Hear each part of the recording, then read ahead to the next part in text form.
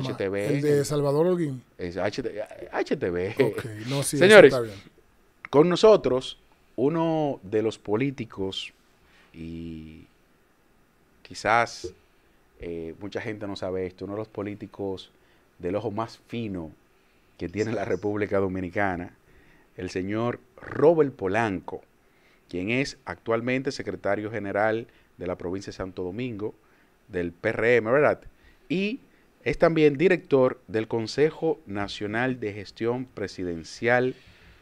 Ya ustedes saben, señores, con nosotros ese va a ser el plato fuerte. Y de inmediatamente vamos a darle la bienvenida al señor Robert Polanco, quien será nuestro grato invitado. Muy buenas noches, Robert Polanco. Muchas gracias, buenas noches, ese extraordinario equipo, Mircía de Doclar, Carlos, eh, Moisés, gracias por la invitación y un saludo como siempre afectivo a don Percio Maldonado, eh, una de las plumas eh, predilectas del periodismo. Robert, este, ¿quién es Robert Polanco? ¿Quién es Robert Polanco y su vida por la gestión pública? Bueno, Robert Polanco es un, un joven oriundo de Bonao, nací en Monseñor Noel, vine muy pequeño al Distrito Nacional, eh, hice mis estudios primarios en el, en el ensanche en el ensanche de la fe, secundario en el Liceo Víctor Estrella Liz y universitario en la Universidad Autónoma de Santo Domingo, en el Alma Mater, donde eh, iniciamos nuestra eh, carrera política a lo interno del Frente Estudiantil Socialista Democrático FES, que era el grupo estudiantil del Partido Revolucionario Dominicano. Ahí te puedo decir, Mircea, que em- empezaron mis primeros pasos en la actividad política, a pesar de que eh, soy hijo de una, de una familia que era de tradición eh, PRDista,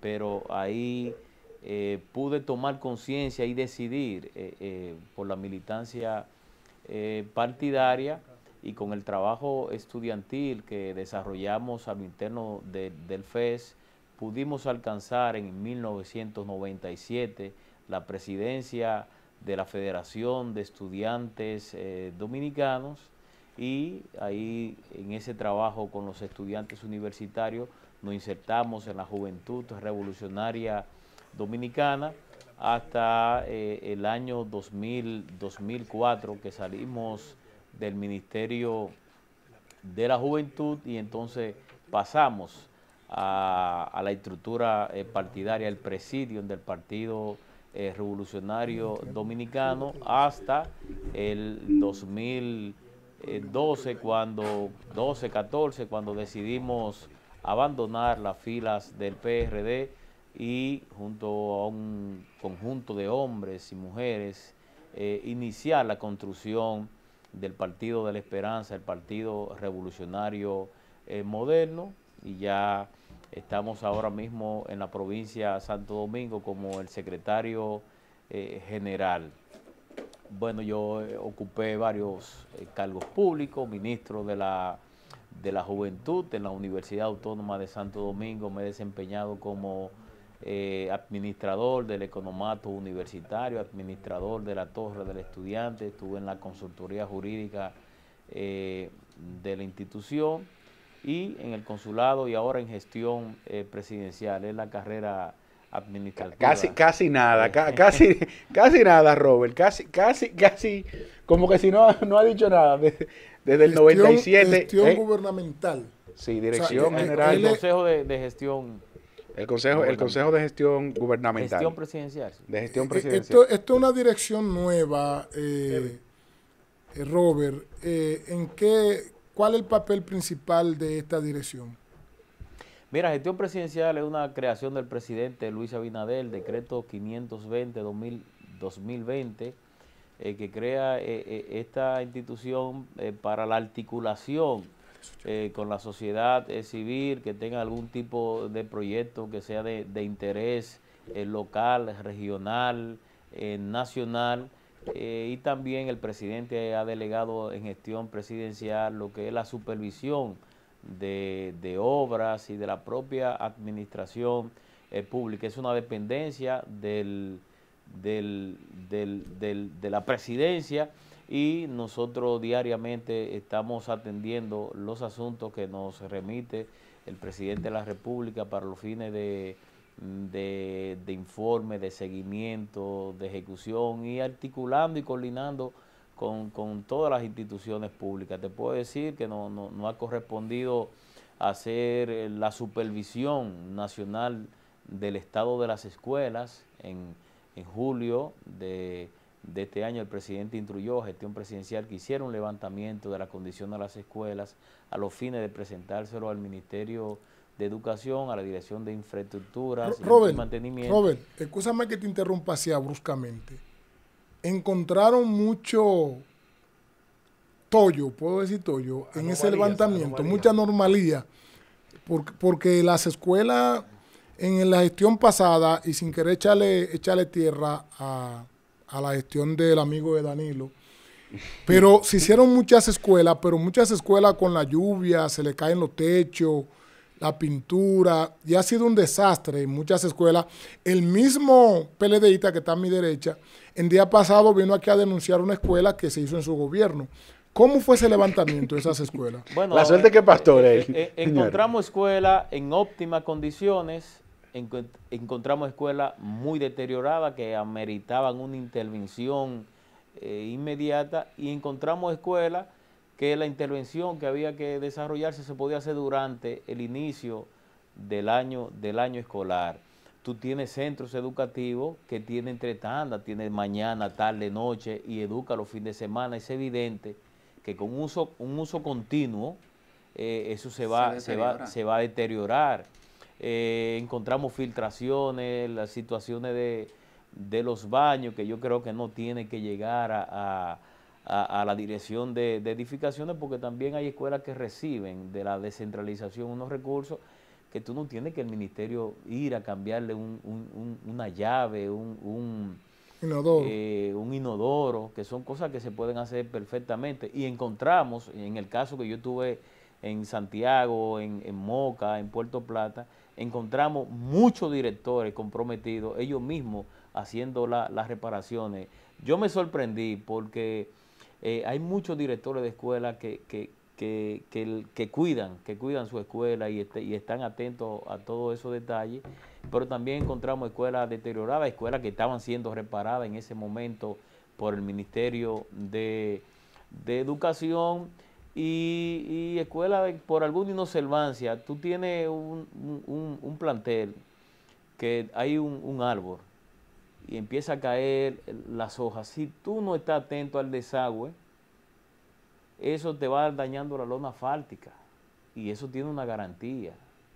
¿Tú me entiendes? Entonces, eh, los directores, el personal administrativo tiene que estar pendiente a eso para, para nosotros, para que se pueda preservar el, el patrimonio patrimonio público y había muchas muchas escuelas que estaban eh, con, mucha grieta, eh, encontramos escuelas con, con techo desprendido y, en ese momento cuando hicimos el levantamiento, que educación estaba trabajando en, la, eh, en el techo de muchas escuelas, la lona fáltica se terminó porque la demanda era, era, era excesiva pero eh, en, la dirección de infraestructura y mantenimiento escolar está un extraordinario hombre, Fernando eh, Taveras, que está atento.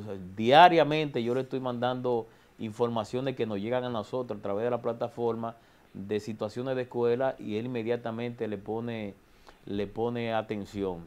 Eh, ahora el presidente nos, nos instruyó para que hiciéramos el levantamiento de, los planteles escolares que están en desuso.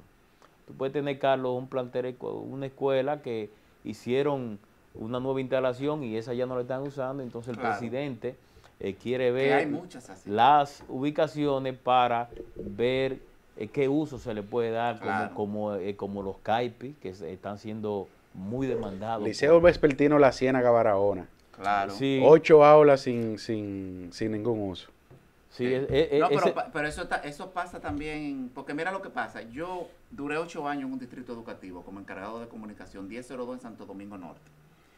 Y por ejemplo, cuando inauguraba una escuela, y muy bueno que se le dé seguimiento a eso, porque yo sé que hay muchas infraestructuras de centro, porque cuando la, la, queja de mucha gente era que decía, pero si están inaugurando escuelas, ¿cómo es que no hay cupo? Lo que pasa es que la gente no entiende que no se inauguraba una escuela. Donde no había necesariamente. Exactamente, sino que se movía un centro de un por cualquier situación, sea porque ya no están en las condiciones, y entonces se movían a la escuela nueva. Pero esa infraestructura queda vacía. Y es muy bueno que el gobierno piense en darle uso de alguna manera, porque hay muchas cosas que se pueden hacer. Sí, claro, claro, claro. Eso, eso, eso hemos estado haciendo. Eh, tuvimos recientemente en el tema del, cierre de la, de la, frontera y la situación de los comerciantes eh, del mercado binacional. Eh, tuvimos por, por Dajabón, por Elías Piña, Independencia y Pedernales haciendo el levantamiento de los productos perecederos para un poco aliviar la carga de, de, de, esos, de esos comerciantes que eh, por el tiempo cerrado del mercado esos productos se estaban dañando. ya eh, eh, hicimos una buena intervención en, en, en, Dajabón, estuvimos en Elías Piña y ya estamos dando los toques finales porque se le dio una parte, hicimos el inventario y entonces se preparó y yo he estado completando con, con, con el presidente de la Asociación de Comerciantes los expedientes, muchas veces el RNC que mandaron tenía un número incorrecto, que, eh, le, que le faltaba la, la, cédula, que el inventario eh, que hicieron lo hicieron en pesos y, y, era en dólares. Entonces estamos eh, corrigiendo todo eso para... Robert, Robert, mira, voy, voy, a, aprovechar... Voy a aprovechar esta pregunta para, no, para, para, que no se me vaya el tema. Es el tema. Sí, ahí mismo el tema.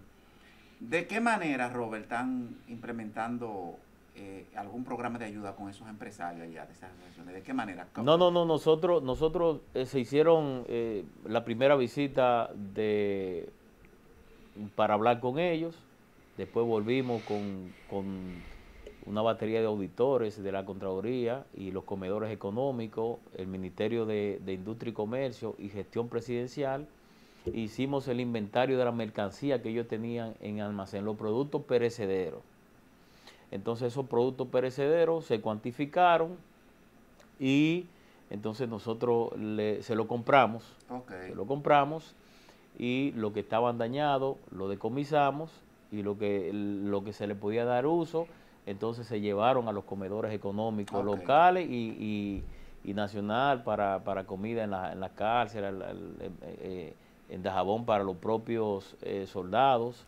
Hicimos esa coordinación en, en, los cuatro puntos fronterizos y de igual, de igual manera en todos. Eh, lo, que, lo que había que decomisarlo, nos lo llevamos para que no pudieran hacer, hacer, hacer uso y lo demás lo montábamos en furgón y se traían a, a los comedores económicos y a los comedores locales se les dejaba una parte de esos de esos productos, también con productores de hielo, eh, que estaban eh, su, su, fábrica cerrada. ¿De hielo? De hielo, en, ah, la, de hielo. en la frontera, sí, eh, los bloques de hielo. Sí, hay, se ve mira, eso, eso ya no se, eh, escúchame que te interrumpa, tú sabes que eso se usaba mucho a nivel nacional. Eso ya no, ya no, no se usa. Robert, Robert, ¿hay algún, ahora yo pensando que usted acaba de decir el tema de de esas trabas, estas simples trabas que presentaban algunos de los productores sobre el, montaje de la, del RNC, de, de, esa duplicidad, o, sea, de, esa, de la conversión de peso a dólar, desde la dirección, y no sé si es competencia de ustedes, ¿hay algún plan para, para simplificar estos procesos de, de regulación de la micro y mediana empresa? ¿Le ha llegado al presidente, vía usted, algún proyecto en esa en esa Bueno, tú sabes que, que, del inicio el, presidente lanzó un, lanzó un, programa de burocracia cero. Por eso que hago la pregunta. Eh, precisamente para, para reducir esa, esa burocracia y que los, los procesos sean más expeditos y, y, más...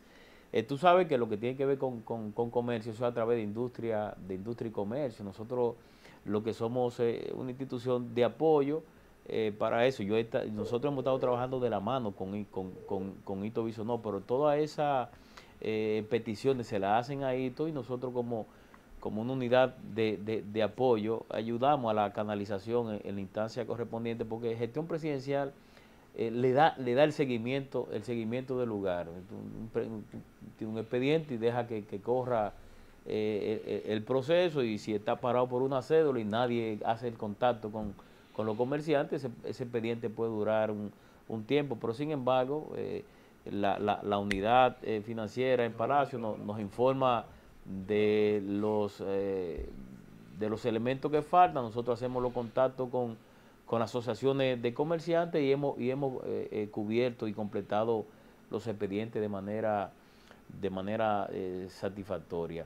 Otra intervención que nosotros hemos tenido fue en el caso de la explosión de, de San Cristóbal, que yo recuerdo que esa tarde iba a una reunión en el partido en la provincia de Santo Domingo, y, el presidente me llamó y me dijo, vete para, vete para San Cristóbal, que allá está eh, Joel Santos, y nosotros esa noche nos encargamos de, la coordinación, después recibimos... Muy, muy buen trabajo, muy buena recibimos la llamada del presidente, me instruyó que fuera a todas las clínicas para que garantizara que esos eh, ciudadanos de San Cristóbal que estaban heridos, el gobierno iba a cubrir eh, todas, todos los gastos.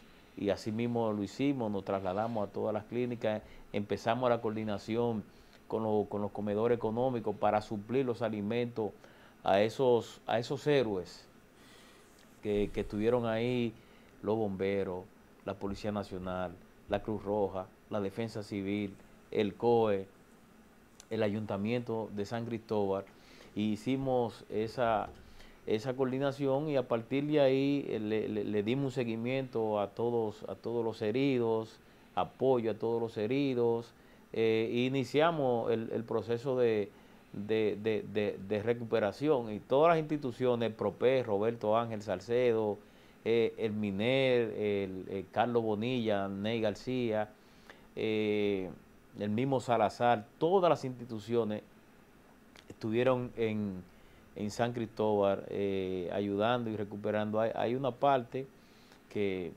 recientemente cuando el presidente estuvo allá, que es el tema de los desaparecidos, tú sabes, Doclar, que, que hay una normativa que cuando eh, si tú estás desaparecido no te pueden dotar de una acta de defunción. Y eso hay que esperar un, proceso y, ellos no están en la... E, e, ellos no, no, no están todavía con la espera de que hay que esperar cinco. Decía el patólogo que son 100 años.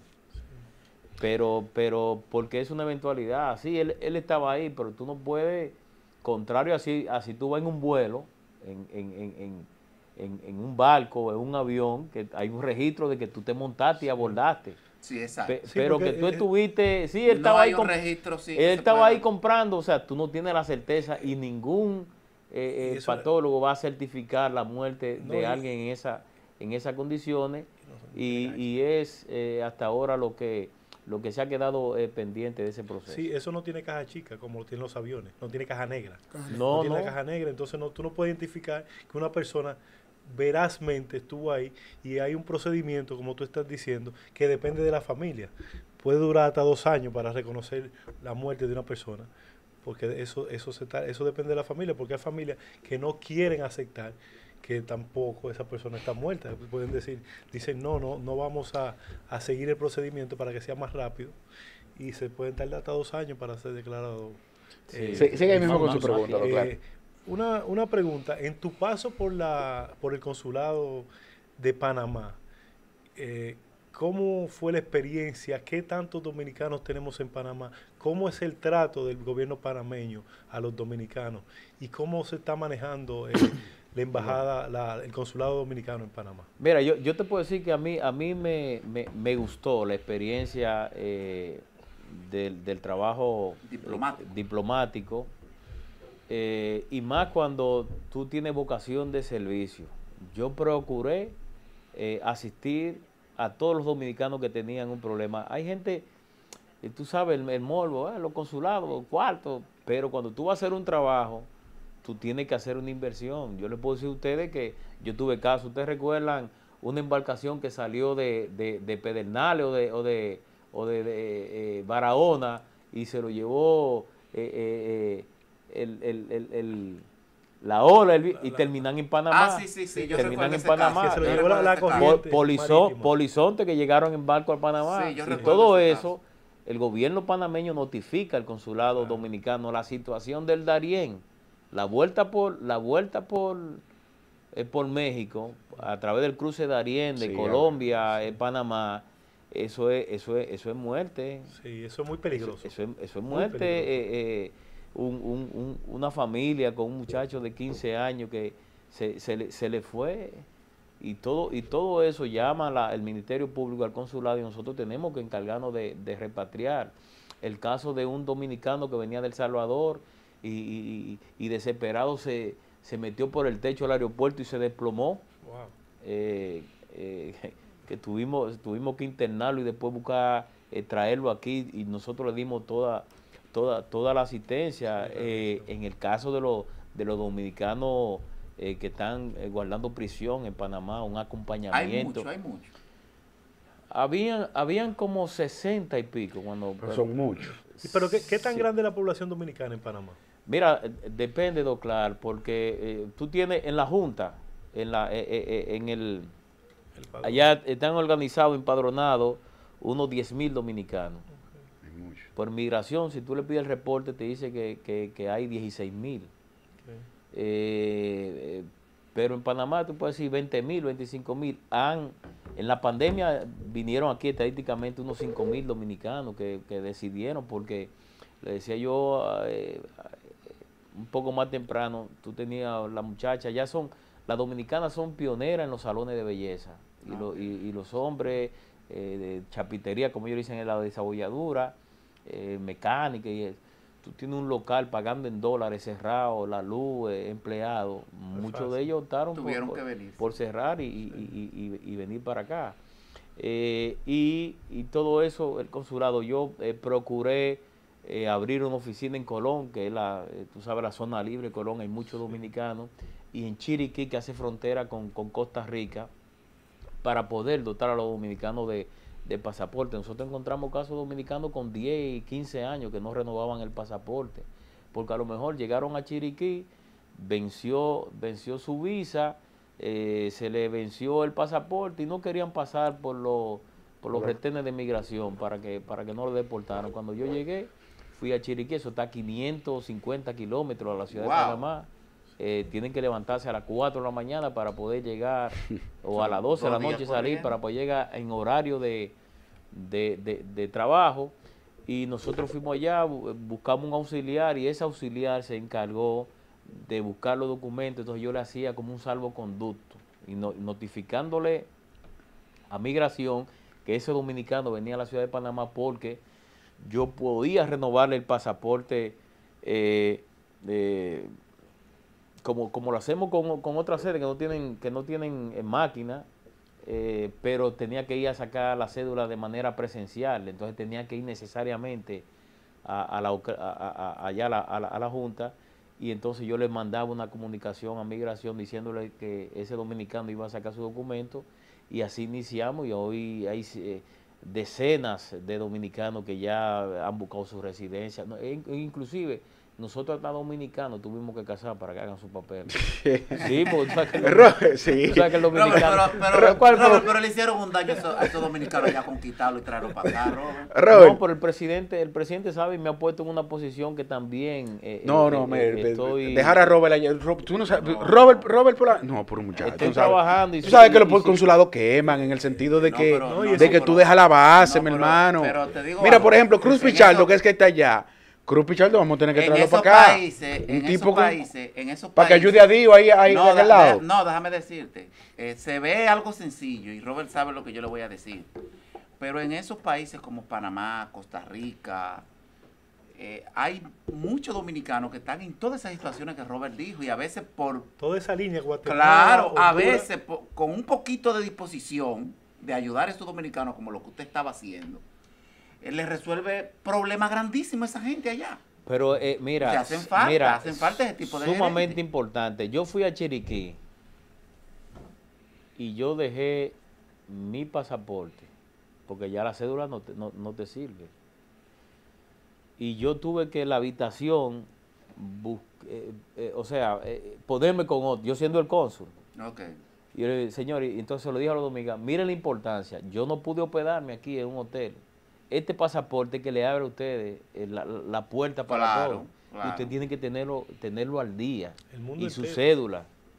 Porque el pasaporte es el instrumento que te permite abrir cuenta bancaria. Claro. Eh, y, el pasaporte es un documento iniciar tu proceso. Entonces, eh, ellos lo entendieron y, hemos ido ya semanalmente. El, auxiliar está ahí que mandando semanalmente pasaporte de, de dominicanos, porque en la medida que fueron entendiendo que, que, se estaba haciendo ese servicio, y es una de las cosas que más valora la gente de la, de la gestión nuestra. Cruz Pichardo ha continuado eso, mantiene la, oficina en, en Colón eh, y, yo creo que es un, es un trabajo que el que lo hace con vocación de servicio, porque a mí, a mí me correspondió, Carlos, también eh, cambiarle el aspecto a la, oficina, eh, lo que me entregaron, a, mí me entregaron un consulado que la máquina, los pasaportes había que traerlos a, a Cancillería y durar dos meses. Y entonces, bueno, la máquina había que arreglarla cuánto. Yo gasté 5 mil dólares, pero la arreglé. Claro. Y, y, inmediatamente pasaporte te autorizaba la emisión de la libreta. Nosotros se la imprimíamos y de dos meses bajamos a una semana. Eso es lo que la gente valora. Claro, eso yo tengo una hermana allá, yo tengo una hermana allá y, y, de verdad eh, fue beneficiada con, con pues con, el, con, con eso, con las acciones de... Eh, eso es lo que le digo. ¿Tú, decías? Que yo tengo una hermana en Panamá y ella fue beneficiada con uno de esos proyectos de, de lo que usted habla, realmente, de la entrega del pasaporte inmediatamente, básicamente. Sí, sí, y mudé, y mudé, y mudé la, en el mismo edificio, pero con una oficina más digna con cristales. No, eh, yo tengo una pregunta. No se desplazaban, no, se, desplazaban personas de Costa Rica allá al tema de los pasaportes. No, no, Costa Rica lo, manda lo manda a Panamá. Eh, si viven en, si viven en Paso Canoa, que es la frontera con, con Panamá, eh, te pueden hacerlo a través del auxiliar consular de, de, Chiriquí. hay mucho, hay muchas dominicanas, precisamente dominicanas en Costa Rica. Sí, pero ellos lo hacen a través porque en, la, eh, en Costa Rica lo que hay una sesión consular y los pasaportes. En Panamá le hace pasaporte a Costa Rica, a Argentina, a Guatemala, a, Colombia. Eh, ya hay algunas sedes que ya eh, Cancillería Opinio le, le, dio la facilidad de comprar la máquina para imprimir pasaporte y ya se han independizado pero eh, realmente los servicios mejoraron, mejoraron considerablemente. Nosotros eh, anualmente para el Día de la Madre le hice las dos actividades a la madre que me, que me correspondió con, con muchos regalos y los dominicanos saben que, que nosotros lo estuvimos acompañando, estuviera enfermo, nosotros mandamos personas para acá que ya no tenían pasaje. Y Cancillería tiene una unidad, porque eso no lo conoce, la Cancillería tiene una unidad que se llama la Dirección de Protección a Nacionales que, que, esa, que esa unidad le, responde a los dominicanos en cualquier parte del mundo. Sí, porque Para que eh, algunos cónsules no, no, no, no, lo utilizan. No, y no lo dicen. Y, no lo dicen y, creen que porque si cuando se muere, se, muere un dominicano en cualquier parte y esa unidad lo trae. Y si tú pones de tu dinero para traerlo, eh, al mes, a los dos meses, pero te, te mandan. El, Robert, Robert, Robert, Robert Suero le manda saludos. Un abrazo a Darío. Una, pregunta, Robert, eh, ya bajando aquí al patio, eh, porque sabemos que usted hizo un buen trabajo allá como cónsul, pero ahora usted, aparte de director de gestión gubernamental, también es el, el secretario, ¿así que le llaman? Secretario, de Santo Domingo, secretario general de Santo Domingo, del Gran Santo Domingo, o de, Santo, la provincia de Santo Domingo. Robert, el presidente dijo creo que fue esta mañana, que la alianza que acaba de hacer el PRD, que es una cosa rara, una alianza rara. Eso lo dijo Danilo Medina. No, eso lo dijo... Sí, fue Danilo que lo dijo. Danilo en un audio. Eso apareció en un audio que dijo Danilo. ¿No fue Luis Abinader que dijo eso? No, no, no. no, eso fue. Ok, ¿Qué, ¿qué opinión le merece usted a esa alianza rara que... Porque es verdad que es rara. ¿Qué opinión le merece usted como secretario general del PRM en la provincia de Santo Domingo esa alianza? Mira, eh, es una alianza como de la desconfianza y ya, y ya lo, lo, expresaste en el audio eh, que, está circulando donde el propio presidente del PLD, Danilo Medina, dice que es una alianza rara, que están eh, aliados ahora pero en febrero van a ser contrario nuevamente porque están buscando el mismo espacio, uno desplazar a otro pensando que aquí va a haber segunda vuelta cuando todos los lo, vaticinios, las 50 dicen que el presidente Luis Abinader va a ganar en la, en la, primera, en la primera vuelta.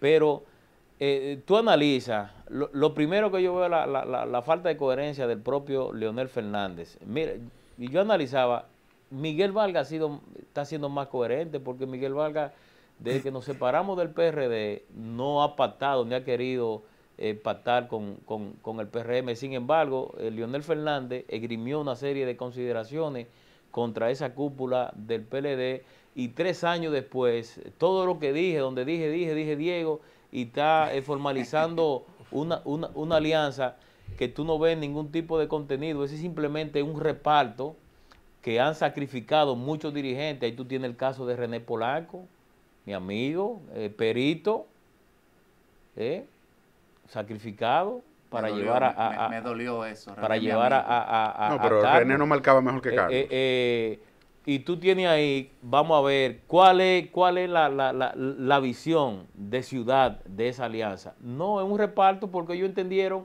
el PRM tiene una fortaleza, y como lo dijo el mismo candidato del, del, PLD de, de, San Juan, si no vamos aliados no tenemos posibilidad de, de competir. Ellos lo que están diciendo, vamos aliados para tener posibilidades de, de, de, competir. Si nos íbamos individual, eh, obviamente con la fortaleza del PRM, no iba a pasar rolo. Con esto no queremos decir que nosotros no podemos descuidarnos, nosotros tenemos que trabajar y entender que, que bueno, son tres, tres partidos, pero cuando tú analizas, Moisés, tú te das cuenta que el PAL era un aliado del PLD, lo perdió. La UDC era un aliado del PLD, lo perdió. El PUM, aliado del PLD y Leonel Fernández, y lo perdió. Tú no ves al Partido Nacional de... Eh, Hoy anda Juárez allá en el PRM. Juárez Castillo, de, la, Fuerza Nacional Progresista. Bueno, tú sabes que todo el mundo se acerca eh, donde, el palo queda sombra. Sin embargo, la Fuerza Nacional Progresista no va, no va en otra alianza. Sí, con el reformista. Porque ahora hay, porque hay, tres alianzas ahora. Está bien, Robert, dale ahí, sigue ahí, Robert. La, verdadera alianza que se ha fortalecido es la alianza que lleva el PRM, de que esos partidos han entendido eh, y han comprendido el papel jugado por el presidente Luis Abinader con el tema de la pandemia, como el presidente, eh, iniciando su gestión de, gobierno, pudo eh, sortear la situación de la pandemia, recuperar los empleos, recuperar el turismo. A, a Luis, al presidente Abinader, le ha tocado dirigir este país en estos tres años en medio de crisis y situaciones. Mira, hoy hay un temblor. Robert. O sea, imagínense ustedes cuatro años sin esa situación, con estabilidad eh, económica mundial, haciendo ese uso eh, transparente de los recursos del Estado, la sobra que este país se va a dar el lujo de tener con el presidente Luis Abinader y eso, y eso es lo que, lo que viene, Moisés. Robert, y una pregunta. Eh,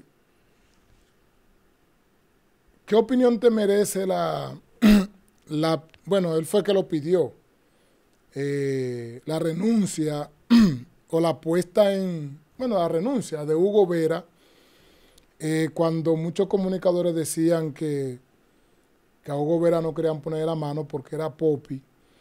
Sin embargo, él terminó renunciando tú como compañero del PRM que eres de, Hugo Vera, aunque creo que Hugo Vera no era partidista, yo nunca había escuchado a Hugo Vera haciendo campaña política. no, él fue candidato. Él fue, candidato, a alcalde por el PRD, claro. Bueno. Fue candidato eh, pero por el PRD, no por el PRM. No, por el PRD, pero era, siempre ha sido político. ok, está bien. Del, viejo partido. Viene del viejo partido. ¿Qué opinión te merece esa renuncia?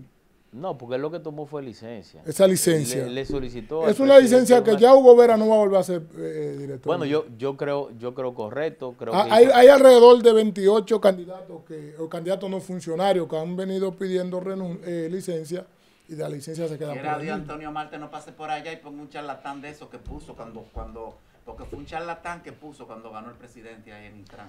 Yo creo que, ha sido correcta su decisión de, porque está en medio de un, de un conflicto que ya se está eh, conociendo en los tribunales, eh, compras y contrataciones haciendo una investigación de la, de la licitación y la suspensión. Y, y eso, eso es lo que hay que esperar, eh, el, el, proceso y la investigación de, de contrataciones públicas, y es lo que ha hecho es apartarse para no, para no ser parte, eh, parte de ese, de, ese proceso y de darle la libertad que contrataciones públicas, eh, la dirección de ética puedan hacer las investigaciones eh, del lugar. Yo en lo personal, a mí, Hugo, a mí me, me, me, me cae bien. A mí también. Y, y, y, yo sé que, que, como él dijo, lo agarraron en su buena fe, y creo que fue el término que él que él utilizó, porque yo lo voy a decir a ustedes, yo que he sido funcionario, nosotros, tú tienes que tener, saber bien la, y ponderar bien las decisiones que tú vas que tú vas a, tomar, porque eh, hay gente que, que, cree que, el mundo se está acabando, que, que, tiene que hacer la cosa, entonces uno tiene que tomar la... Principalmente los amigos tomar las la, decisiones en el marco y más ahora, porque mira, el presidente Abinader a todos nosotros nos ha dicho cuál es la línea. ¿Cuál es la línea, Transparencia, uso correcto, los recursos del Estado. Y, mira, yo creo que ya no es ni siquiera corrupción, es que ni errores podemos cometer, porque ya como, como, como están los medios, la gente está atento a la buena gobernanza. Y el propio presidente. y, el propio, presidente. mira, pero, eh, mira, mira eh, yo creo que fue un error, mira, el manejo que se le dio a Porfirio Peralta. Para mí fue un exceso. Y eso yo lo digo de manera muy particular. No, para mí no.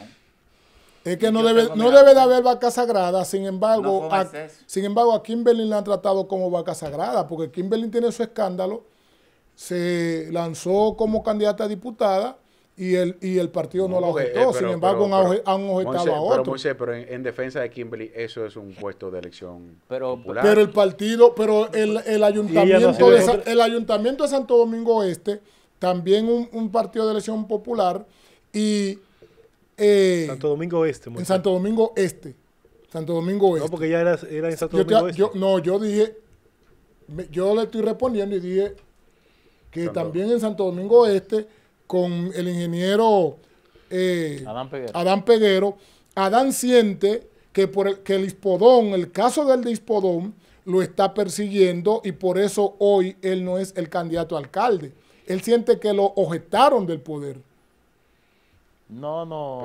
pero hasta lo escribió. Pero lo de Kimber, eh, eh, Adán, lo de Kimber es administrativo. Y cuando Adán pierde, cuando Adán pierde, lo primero que Adán pide es al, al Ministerio de Ética, Milagro Ortiz que aclare su caso, porque eso está afectando su vida, su, su futuro político. Ahora no se y también a su familia. Eso es lo primero. Es un mensaje claro. Sí, yo lo vi. es un mensaje clarito. Eso lo tuiteó él. Yo lo vi.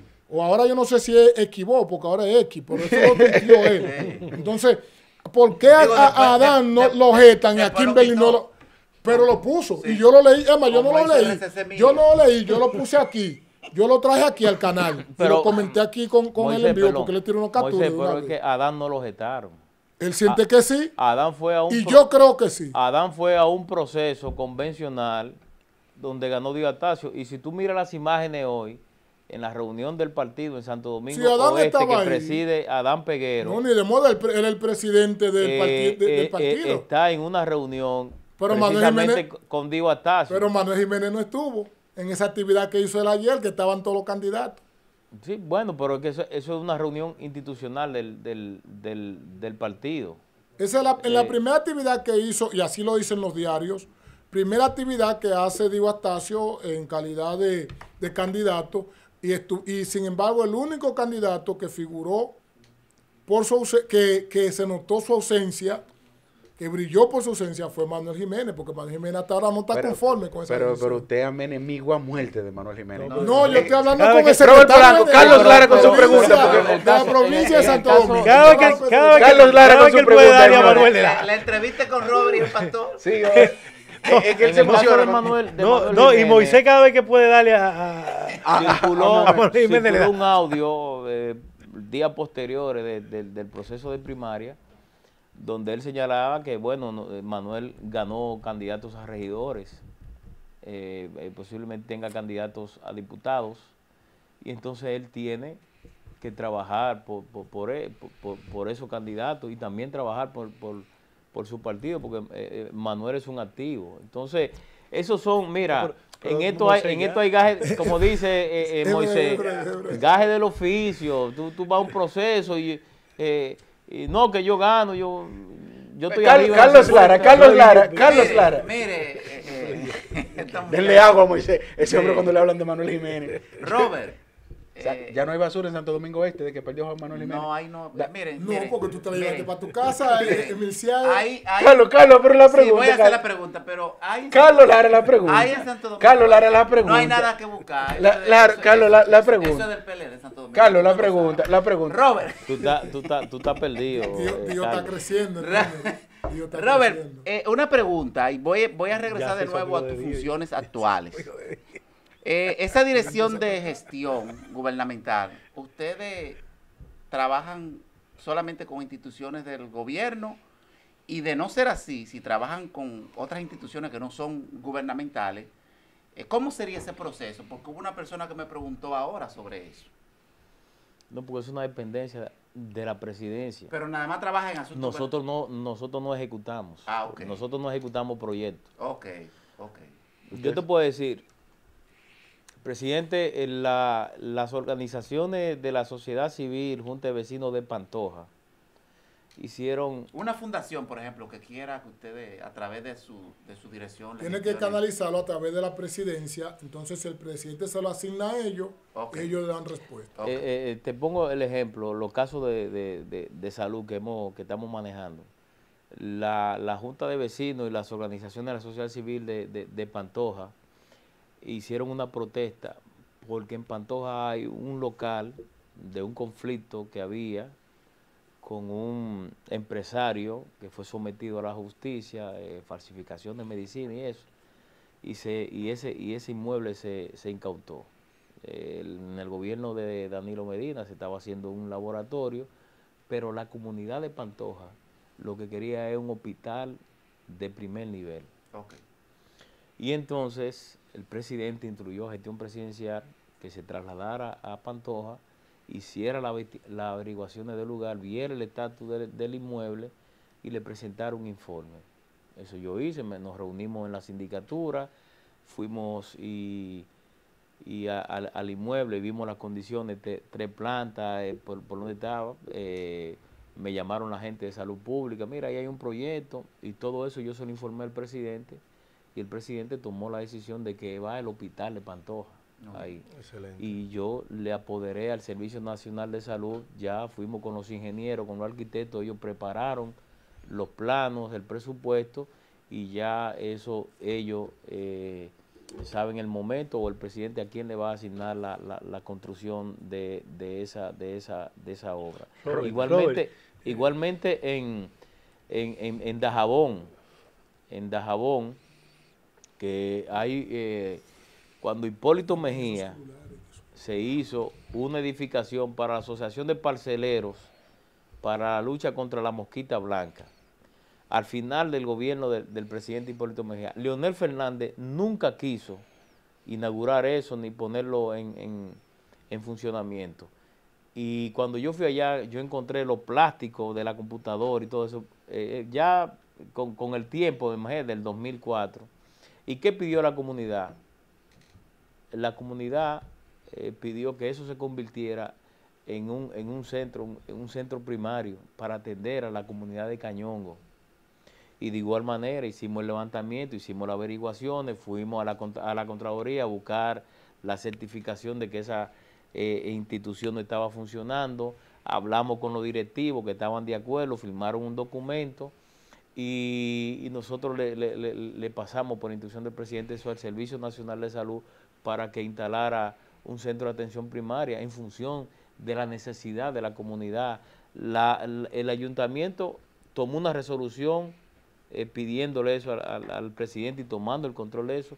Hicimos ese proceso y ya eso está en licitación en el Servicio Nacional de Salud y estamos a la espera ya para que a principios del año que viene eso se inicie y en, lo próximo, en el próximo trimestre ya Cañongo tenga su centro de atención primaria, que, es, una necesidad. Mira, Robert, 25 de septiembre, 25 de septiembre del año, de este año, hubo un deslizamiento de tierra en la Ciénaga Barahona, entre San Rafael y la Ciénaga.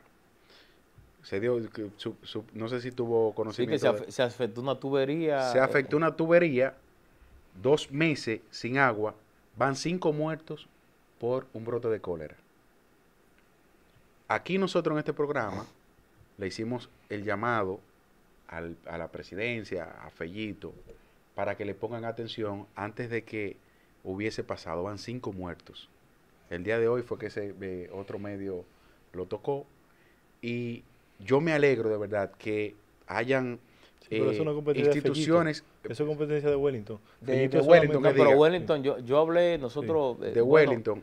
Precisamente eh, eh, yo formo parte de la, del Gabinete de Construcción y Agua y nosotros nos reunimos con el presidente todos los martes en el Palacio Nacional y, Wellington estaba hablando con, con Delino porque fue el desprendimiento y, pichó la tubería. Entonces, ¿qué pasa? Que estaban tomando agua de, de eh, ¿cómo que se llama? La localidad que está antes de la ciénaga y parece que es agua De, de Bauruco, de Bauruco.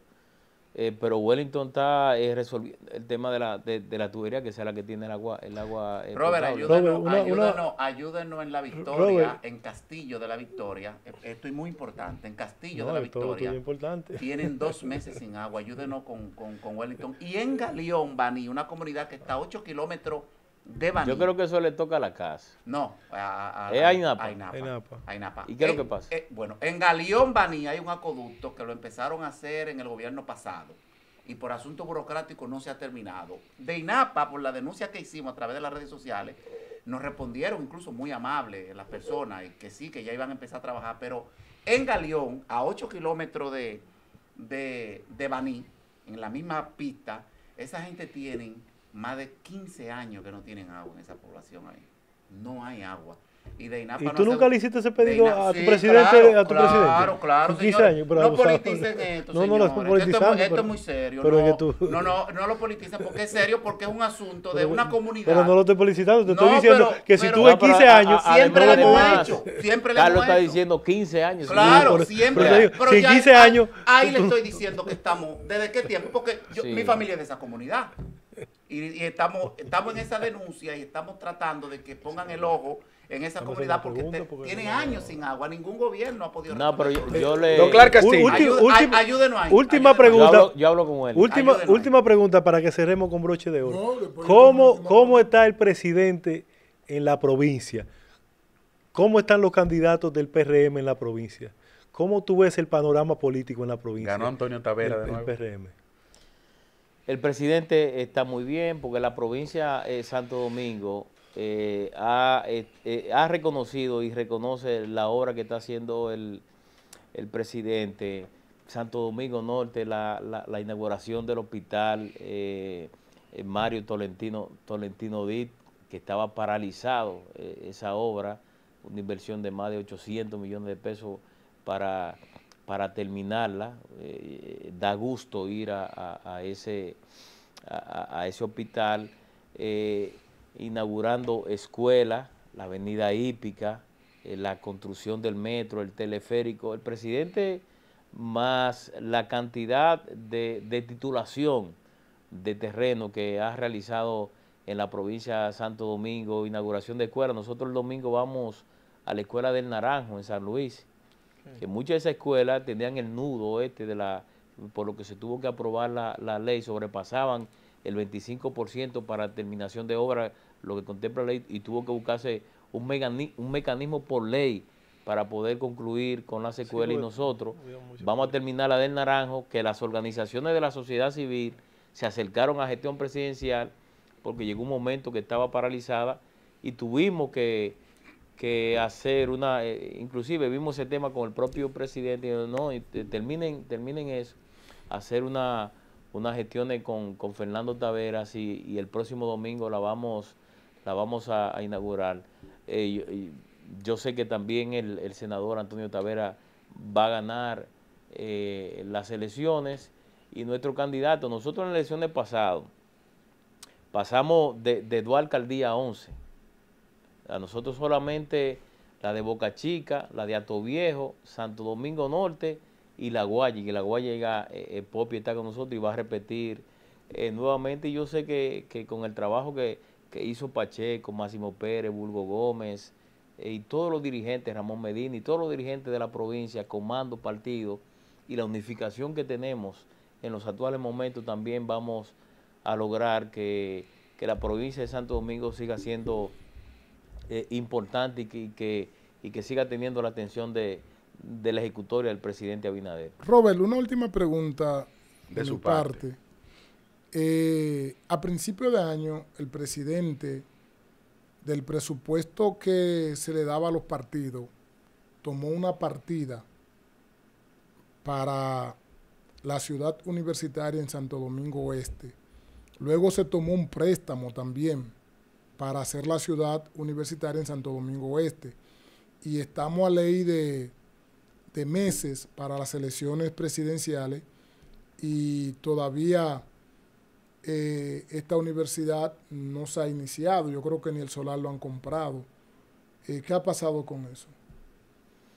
Bueno, no tengo no tengo los de, lo, lo, detalles, lo que sí yo te puedo decir que, que el gobierno no se ha parado en su en su eh, eh, en su apoyo a la universidad. No, yo sé eh, eso, yo, sé, yo, sé, yo conozco todo, yo conozco Cotuí, oye, para Santiago que Rodríguez, para que no, oye Robert, oye, Mayor, Robert, eh, tiene que, eso para que lo sepa el público. Mira, para eso que no, fue por Lani salió tranquilado. No, no, no, porque eso, eso fue por Lani salió tranquilado el doctor, el, el pastor. Yo no he salido Creía que iba a robo con Robert. Perdón, perdón, perdón. perdón. Yo no he salido tranquilado porque yo conozco todas las universidades. Pero, pero, pero no, como usted lo dijo ahí, fue para, es que yo pregunté, como para confundir a la audiencia. Mira lo que pasa. El entrevistado él, no quiere que conteste Robert. Yo conozco todas las universidades que el y lo he y lo he felicitado al presidente en quería poner una parte de jabón ahí. He hecho artículos. Eh, quería poner una parte de sancocho ahí. Yo estoy preguntando específicamente porque ya de esta universidad se sacó un, se sacó un dinero para, para la Universidad de Santo Domingo Este, se le quitó un dinero al, a los partidos y luego se buscó un, préstamo. No te está diciendo que el presidente se lo tiene, tiene que ver, Moisés, que el presidente lo está eh, dilapidando. que el presidente, lo está desviando el presidente. Bueno, eso lo dijo usted. No, no, no, no mira, tiene, tiene que ver porque tú sabes Pero que, fue el que eh, dijo eso. ahora eh, se están llevando procesos. Algún proceso, en, en alguna eh, parte del proceso está eso, o de licitación, porque ya aquí no se dan obras grado a grado. Ahora, el apoyo que Luis Abinader le ha dado a la Universidad Autónoma de Santo Eso es indiscutible. Cuando muchos pensaban que por ser miembro de una familia que tiene la segunda institución de educación superior, porque después de la, de la UAS, la, OIM es la universidad más, grande después de la UAS, con más, con más estudiantes. Sí, sí. sin, embargo, sin embargo, pero ustedes recuerdan que Luis Abinader, asumiendo la presidencia, fue a la UAS y le llevó 234 millones, millones de pesos y la gente pensaba que el presidente Abinader yo nada más pregunté fue no iba a ser por la UAS Santo Domingo Oeste. un apoyo. Tú recuerdas, tú recuerdas eh, Moisés, que nosotros teníamos que hacer huelga y de todo para los cursos de verano. Ya a, los estudiantes le mandan su dinero, le hacen... Lo, nunca visto en la UAS. Eh, se le pagó una deuda de un aumento salarial de un 15% en febrero sin tener que hacer una huelga, sin tener que tirar una piedra. El presidente le ha dado los recursos a la UAS que nunca él compite con Leonel Fernández. Hay que ver cuando termine. Porque en estos cuatro años. Pero él no ha hecho, no ha hecho obras sobrevaluadas. Oye, oye lo que voy a decir. En estos cuatro años es probable que el presidente termine invirtiendo en la UAS lo que Leonel invirtió en tres periodos. Eso yo lo reconozco. Ahora, esta una pregunta fue por una universidad específica. Pero yo, yo, yo, voy a hacer la, la, la, la indagatoria, tú, porque yo soy de la persona que... Ah, la indagatoria. Si no tengo conocimiento, yo no me pongo a teorizar, decirte tú que eh, se está haciendo esto y yo dije, no, no tengo la información, claro, la voy a averiguar y entonces, aunque sea personalmente, te doy los detalles. Robert, lamentablemente el tiempo siempre... Ya son las 12. Nos ve, ¿no? Eh, pero hasta usted tiene dos horas, abusador. Estos tipos tienen una metralla de, comentarios. Eh. Yo hice el mío porque, de verdad, a mí lo que, mi comentario era el tema de, de las aguas, cinco muertos, ya por el tema del cólera, señores, aquí en República Hay problemas en Barahona. En Barahona, allá en el pueblo mío. Entonces, ese, era, mi... ¿Cuántos muertos van? ¿Cuántos muertos van? Cinco, según me, me, me informan. Robert, unas últimas palabras, porque si lleva Moisés no termina. oficiales. Coordinador. Dígalo Maduro. Unas últimas palabras. Coordinador, Robert tiene material, podemos ir a pausa y Yo sé, no. Eh, Robert, unas últimas palabras para nosotros desde tiene la que usted como político. Bueno, agradecer la, la, invitación eh, de ustedes. Eh, la verdad que cuando hablaba con Carlos, usted hace un programa eh, muy dinámico y orientador. Tratan bien a sus a sus invitados. No estuvimos nunca enfrentados. No, no, no, no, no, no. hubo necesidad. Somos nosotros que nos enfrentamos. Pero nada, decirle al pueblo dominicano que siga confiando en el presidente honesto, honrado, eh, trabajador que tenemos en el país, el presidente eh, Luis Abinader, y que eh, los, los problemas que muchos de ustedes han, presentado, los funcionarios y el gobierno está para, para buscarle solución. Me voy aquí con la inquietud tuya, Melcía, de, de, ese tema que te reitero que Wellington lo vi conversando sobre el particular con Deline en la última reunión que sostuvimos el pasado el pasado martes porque eh, hay, que, hay que solucionar eso. Ahora, la causa de por qué eso se derrumbó, usted tiene que saberla, que fue la extracción de, parte de esa loma para, para represar un proyecto que había eh, por ahí, por... Perla del Sur. Eh, bueno, entonces, entonces dejó, dejó eso sin, sin el debido sustento y en una, una agua y por ahí pasa la tubería y eso y eso eso son piedras en, eh, eh, enormes. Ayúdeme con el agua en Galeón, por favor. Sí, pásame, pásame y la de y la de Santo Domingo Norte, y la de Santo Domingo Victoria. Norte, Castillo en la en Victoria. Castillo. Tienen dos meses sin agua. Señores, es duro. Robert, gracias. de verdad, eh, lo esperamos pronto por aquí para que nos sigas dando informaciones precisas de lo que se está haciendo. Robert, Igual que Señores, vamos a una pausa y volvemos en breve.